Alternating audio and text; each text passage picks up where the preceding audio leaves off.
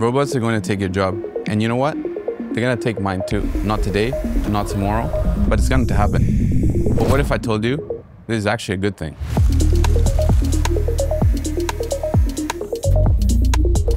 As a driver in one of the biggest ride-hailing companies, knowing that autonomous vehicles and drones are already hitting the streets, it's obviously not a nice feeling. And it makes me wonder if I will lose my job or if my car will lose its value.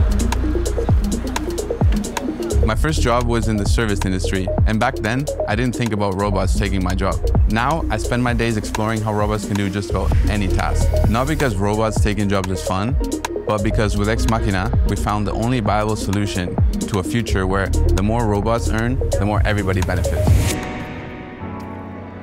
By tokenizing autonomous vertical farms with Ex Machina, creating a sustainable ecosystem, a system that gives the farmers a stake in the revenue of the robots that are potentially taking their job. And over time, this will enable us to go back to local farming peer to peer.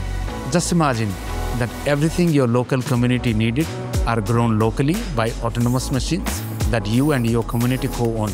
This is revolutionary. This could be a key in our mission to increase global food supply and once again make farming sustainable. By tokenizing robots like our robotic cafes through XMAQUINA, not only we are able to raise funds more easily, but the whole prospect of communal ownership is creating a whole new revenue stream. I mean, now you can actually own a part of the robot cafe where you buy your morning coffee. There is definitely a lot of uncertainties, but with XMAQUINA, instead of losing out, I realized that I can be part of this new economy. It gives me comfort to know that in the future, my car can be part of an autonomous fleet where it can continue to make money for me while I spend time with my friends and my family. And suddenly, I'm not so scared of the robots anymore. From vertical farms to delivery drones, to one day humanoids serving their communities.